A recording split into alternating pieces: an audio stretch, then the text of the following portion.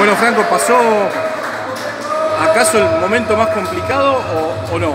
Falta uno más. No, no, falta uno más. Eh, la realidad es que ya esta distancia es partido a partido.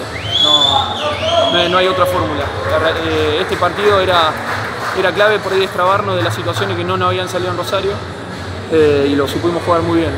no es fácil jugar con, con un equipo que, que, ya había ciertas, ciertas situaciones que no las tenían controladas. ¿Han visto algo del próximo rival?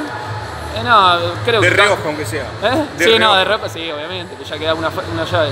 Eh, que es un equipo que viene ganando todo visitante. Eso es, creo que, el, el asterisco a tener en cuenta.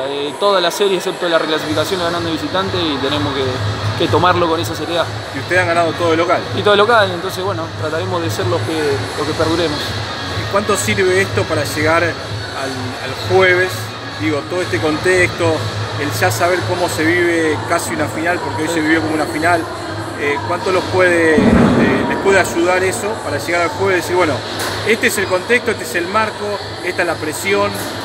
Nada, nada, eh, a ver, todos sabíamos que en una instancia así Villa Mitre iba a ser esto, todo. no había uno que no, no creyera eso.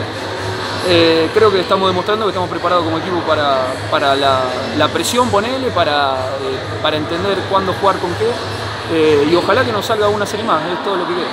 Eh, ¿Sienten esa presión de que Villamitre te haga ascender?